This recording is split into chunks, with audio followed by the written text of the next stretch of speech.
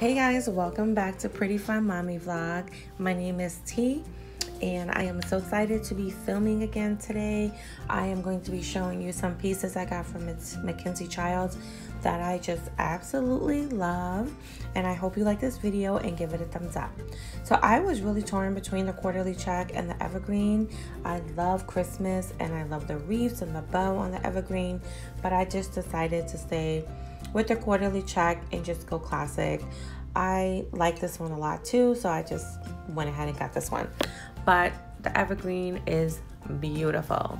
Um, so with this one, I originally ordered the three quart. Now, Mackenzie Childs is expensive, but I do think it's a great investment.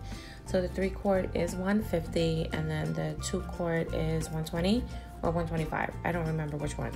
But I purchased the three quart and I just felt it was too large for my space. My kitchen is small and it looks silly sitting on my little stove. So when the two quart came back in stock, I was so excited. Purchased the two quart and um, inside of it, it just has like some care instructions on it and I love the little red knob and the gold around it. It's just so cute. I love it, love it, love it. And Another thing with Mackenzie Childs items are that they are hand painted. So none of them are really the same. And I like the little red knobs and the gold details at the top. That's just one of the things I love. The knobs also stay straight up so they're not falling over when you're making your tea. So as you can see with the two of them next to each other, the three quart is way bigger and it is definitely going back.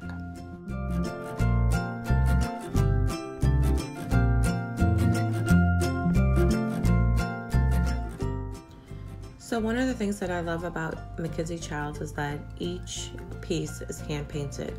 So you're not gonna find two that are exactly the same. And they also have yellow and blue undertones in them when you look really closely. The Courtly Check is not just all black and white. And I really do like that about it. It makes it very unique and that's what I love about Mackenzie Childs pieces. They put a lot of time into hand painting each one. Um, for the utensils, I just purchased a seven cup holder because their utensil holder is slim and I knew it wouldn't house all of my utensils. In fact, I actually had to put some of my utensils that I don't use every day in a drawer. But um, this does work better for me than their utensil holder and I'm glad I purchased it. I, hope you like this video. Thank you so much for watching. Please give it a big thumbs up and subscribe to my channel. Thank you. Have a great day. Until next time.